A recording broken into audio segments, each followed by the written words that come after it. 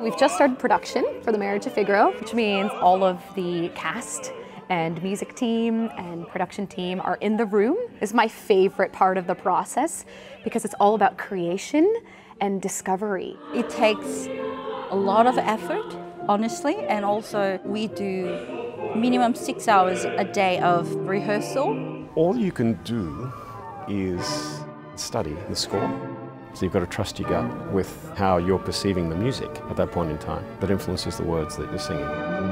Mozart's the Shakespeare of opera. You don't miss a chance to see these productions. I love it because it's such a quick moving story and it means that people that are seeing an opera for the first time are used to the, the pace at which the story moves. It is similar to like a sitcom. It is so funny and it's about people just like us getting one up on the aristocracy. Against all this is this most amazing, sublime, ethereal music. For Opera Queensland, what we are interested in is finding the resonances to our time that bring the story to life in a new way.